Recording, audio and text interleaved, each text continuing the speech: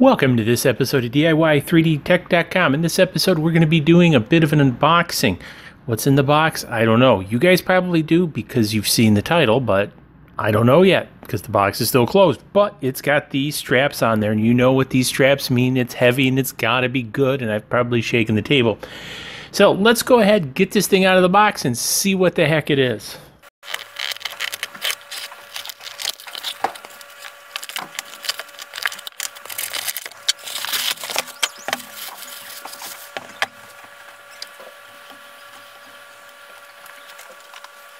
Okay, welcome back. And as you can see, it's an arbor press, and it is a mighty hefty arbor press at that. So what I want to do in this video is uh, I've done the unboxing. Here's everything. I'm going to talk about the pieces. However, I'm also going to talk about what is an arbor press for those that don't know what an arbor press is.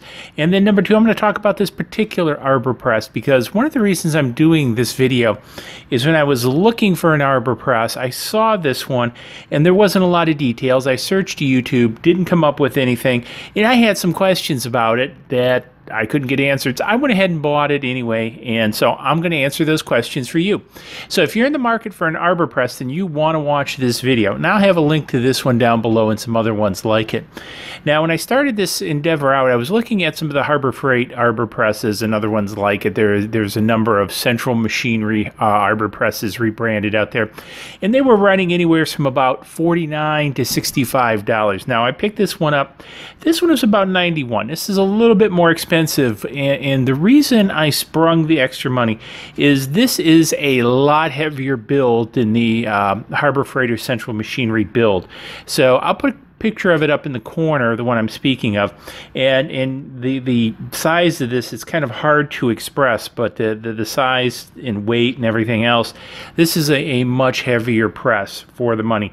Now, will the other one work? Probably. Um, I've never had one. I've had arbor presses in the past, uh, but when I went shopping for this one, I liked a couple things. Number one, again, I mentioned the sturdiness, uh, because of the one thing, the throat here is just utterly massive. It's it's you know like about six, maybe eight inches thick. Uh, here. Heavy duty. I like the handle here uh, to be able to pick it up. Now, the other thing that I really like is this wheel. Uh, because one of the things I do want to note is there's a keyway on here, and if you notice when I was unboxing it, I had a little tough time getting the tape out. Watch it, it's there to protect this keyway. But sort of long story short, this wheel goes on here and this allows you to work the arbor. Now, the idea behind an arbor press is basically you have this geared arbor, and I think it's about a 20 to 1 ratio. And kind of long story short, you convert the lever through the gear, you know, the leverage of the handle as a lever through the gear ratio of this to the arbor which generates, according to this, about a ton of pressure. Now, the thing is, you can actually go up a little bit. Now, I think this rod is about 16 millimeter diameter rod. Um, pretty heavy duty rod. Now, what I've seen other folks do is get longer rods uh, and, and, insert them to get more torque, or you can just put a pipe on the end because uh, obviously the longer the lever, the more torque you have. But one of the pieces I liked about this is the fact it had this wheel. And kind of long story short, this kind of screws in here and allows you to spin the wheel. Now you might say, Mr. DIY3DTech.com, why do I want this? I got the handle on the other side.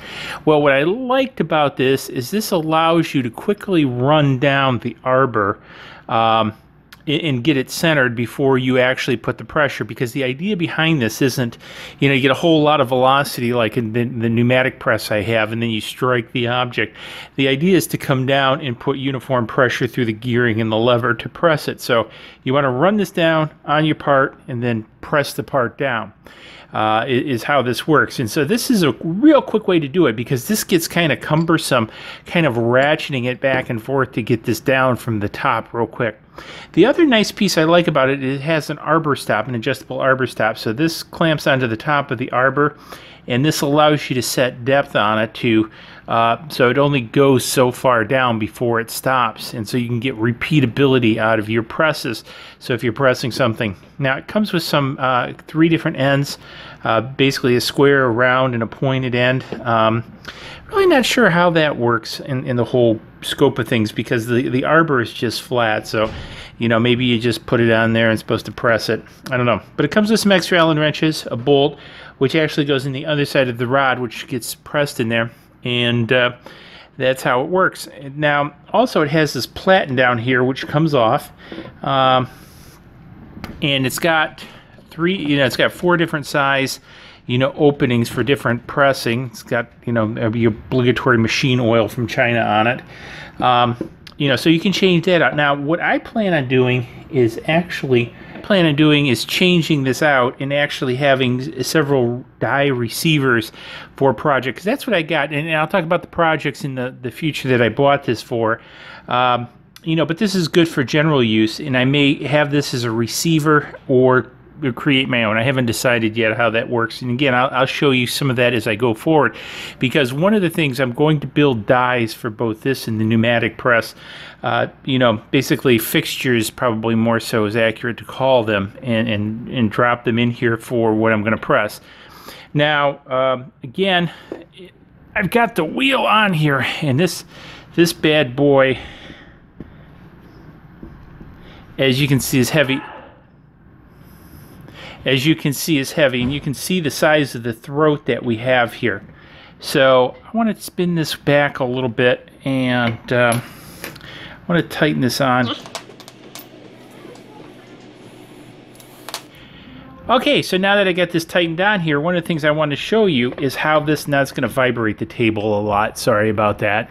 But you can see how quickly that this will actually spin it around versus the handle. Now, this is a one-to-one ratio with the handle, so that's one of the things I did not know when I bought it and was kind of, you know, wondering, was there a different gear reduction over here? I had doubted it, uh, but there is not a gear reduction. This is a one-to-one -one ratio. And so again, the idea is to run this up and down and get it aligned into your piece, and then um, you stick this through here, and then you have to put the other end on.